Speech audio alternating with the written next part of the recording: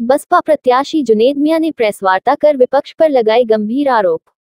UP में 2022 का चुनावी बिगुल बजते ही प्रत्याशी कहीं विकास की बात कर रहे हैं तो कहीं एक दूसरे पर आरोप लगाकर जनता का दिल जीतने की कोशिश कर रहे हैं। वहीं आज एटा जनपद की अलीगंज विधानसभा 103 के बसपा प्रत्याशी साउद अली उर्फ़ जुनेद मियाँ ने प्रेस वार्ता कर उन्होंने अपनी नेता बहन को मायावती जी का आभार जताते करते हुए कहा कि हम और लोगों तरह नहीं है जो अपनी एक जाति को लेकर चुनाव लड़ रहे हैं। हम सभी को साथ लेकर चुनाव लड़ेंगे। लोग 2012 से 2017 तक का समय लोग भूले नहीं है। एटा उत्तर प्रदेश से राजेश गुप्ता की रिपोर्ट देखते रहिए आपका अपना चैनल आंचलिक खबरें अपनों की खबर आप तक। मीडिया के लोग इलेक्ट्रॉनिक मीडिया, सोशल मीडिया पे एक्टिव वाले यूट्यूबर्स और पत्रकार बंधुओं आप सबका बहुत बहुत धन्यवाद आने के लिए। जैसा कि आपको जानकारी हुई है कि कल की सूची में आदरणीय हमारी नेता बहन कुमारी मायावती जी ने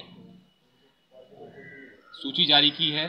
उसमें 100 अलीगंज तीन विधानसभा के चुनाव लड़ने का दायित्व की ज़िम्मेदारी मुझे दी है। सबसे पहले तो मैं बहुत बड़ा उनका शुक्रगुजार हूँ कि उन्होंने मुझे इस लायक समझा उनका प्रतिनिधित्व कर सकूँ। जैसा कि आप लोगों को पता है कि नोटिफिकेशन जारी हो चुका है तो कल 28 तारीख को मैं अपने समर्थकों के साथ, जो लोग भी हैं, जो कोविड नियम का पालन करते हुए और आचार संहिता का पालन करते हुए हम लोग जाके पर्चा भरेंगे। हम लोग चार पाँच मुद्दों हैं अलीगंज के, जिस पे चुनाव लड़ेंगे।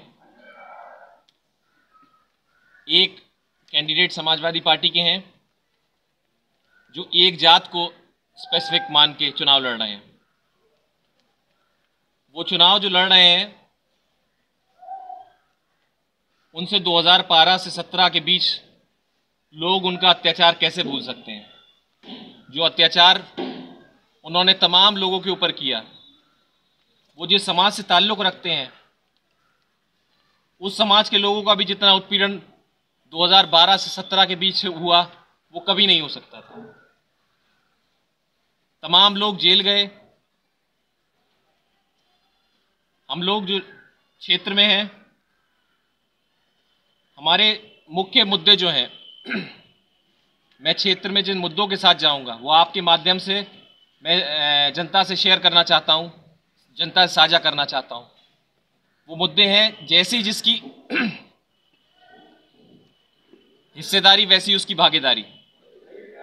अगर मैं विधायक हो जाता हूँ आपके आशीर्वाद से यहाँ से तो एक शाख के ब्लॉक प्रमुख होगा तो दूसरी ब्लॉक का शाख दूसरी ब्लॉक लोधी समाज ब्लॉक प्रमुख होगा।